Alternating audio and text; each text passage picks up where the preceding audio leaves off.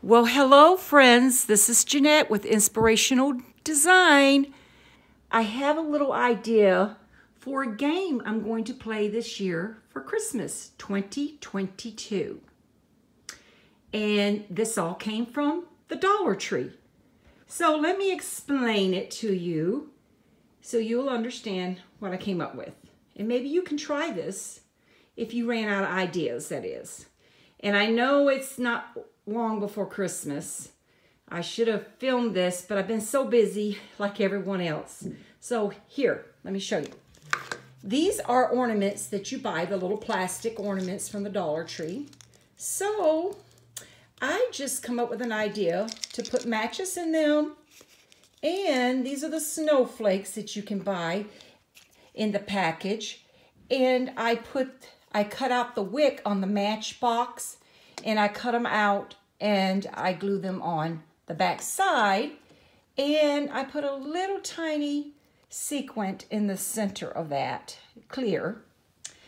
And um, I poured all the matches, some matches in there. And you see the white paper in all of these? Well, that's part of the game. Um, I put the word on one of them only, only on one, I put the word winner on them. So, um, what you do is you play your game, and whoever wins the game, which is going to be bingo, uh, and we're going to play the full card bingo to get this prize. And uh, whoever has the winner, picks the winner one, gets to win the prize. Okay? And here's the prize. It's a box from the Dollar Tree, of course. And inside, oh, money. I got money folded up inside, and, and I made another matchbox, see? Out of the big matchbox. I cut them out and glued them on. I think I got it on both sides. Yeah, see? And also right there, I glued it on and cut a little one out in the front. So I thought that was their the winner's gift. And you could put as much as money as you want in there, which I ain't going to tell the amount, but it's it's pretty good amount. And um, I just thought this would be a cute little game to play.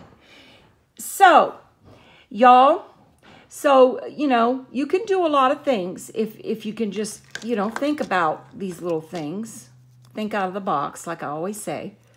But it's not that hard. Just glue a little the little wick, cut out the wick off the box, the matchbox, and, you know, and it's not that hard to get a string, the little string from the Dollar Tree, the little rope they sell, the uh, red and white, and just glue that down. See?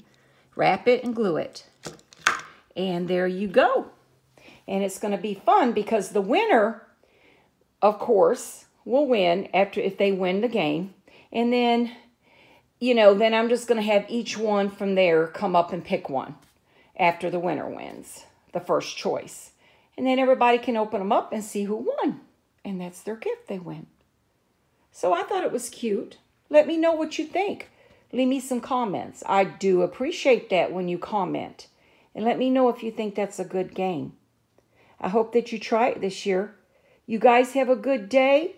Thank you for all of my new subscribers. And um, I want to put up more videos. I know I tell you all, but I have been very busy. And one day I will sit down and explain myself. But as of right now, I do appreciate you sticking it out and staying with me. And you guys have a very Merry Christmas.